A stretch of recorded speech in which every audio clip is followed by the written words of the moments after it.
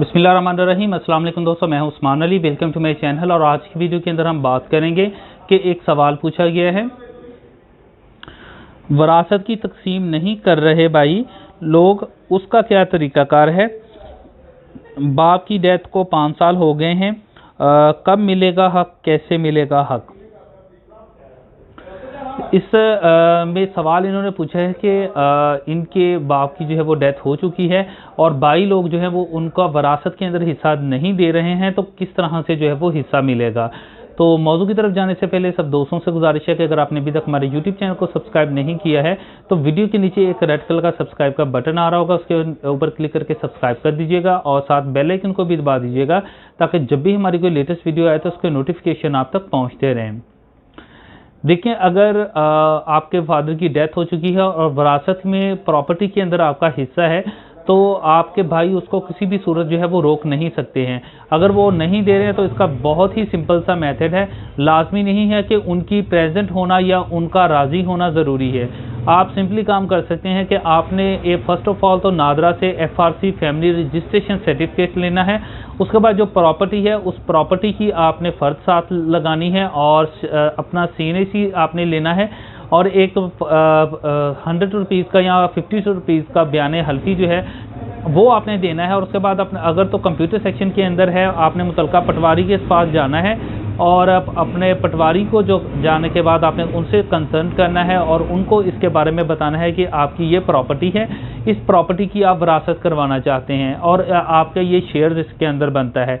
तो वो प्रॉपर्ट जो पटवारी है, वो उस आपकी उस प्रॉपर्टी का बकायदा शेयर्स बनाएगा और एक शजरा बनाएगा और उसके साथ डेथ सर्टिफिकेट भी आपको चाहिए होगा।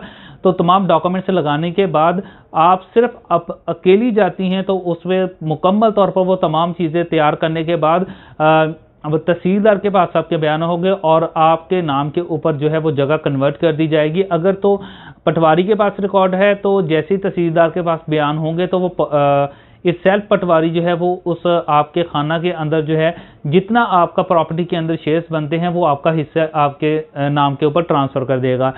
अगर कंप्यूटर सेक्शन आपका कंप्यूटराइज हो चुका है तो वो आप तमाम बयान लेने के बाद मुकम्मल फ़ाइल समेत जो है कंप्यूटर सेक्शन में जाकर ए डी एल साहब जो होते हैं, उसमें आप पास जाके तमाम चीज़ें डॉक्यूमेंट जमा करवा के प्रॉपर्टी आपके नाम के ऊपर ट्रांसफ़र करवा देगा।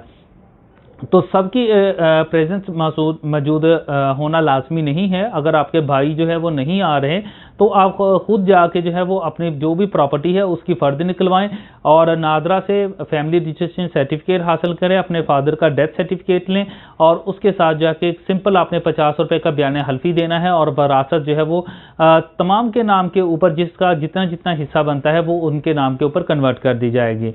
उसके बाद अगर आप समझिए कि उसके ऊपर कब्जा है आपके भाई का आपका भाई नहीं दे रहे तो जैसे ही जगह आपके नाम के ऊपर ट्रांसफ़र हो जाएगी अगर तो वो आ, मकान को आपको उसके अंदर शेयर्स दे रहे हैं आप शेयर्स को सेल भी कर सकते हैं उस प्रॉपर्टी को। अगर वो कब्जा नहीं दे रहे हैं तो आप अदालत में केस करके उन कब्जा जो है वो वापस भी ले सकते हैं। इसके अलावा आप उस प्रॉपर्टी को सेल भी कर सकते हैं। अगर खाली प्लाट है आप उसके ऊपर जाकर अपने हिस्से की हद तक जो है वो आप आ, उसके ऊपर रह भी सकते हैं उसके ऊपर कब्जा भी जो है वो कर सकते हैं। तो लाजमी नहीं है कि आप भाइयों की मिनते करें कि जनाब हमें जो है मेरी प्रॉपर्टी के अंदर मुझे हिस्सा दिया जाए।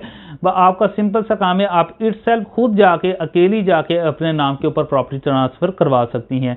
तो किसी किस्म का ऐसा कोई इशू नहीं है कि सबको जाने की ज़रूरत पड़ेगी, आप अकेली जाकर अपने नाम के ऊपर प्रॉपर्टी ट्रांसफ़र करवा सकती हैं। तो इस मौजू से मुतल अगर आपका कोई फर्दर क्वेश्चन हो तो वीडियो के नीचे कमेंट करके आप पूछ सकते हैं। Thank for watching and Allah हाफिज़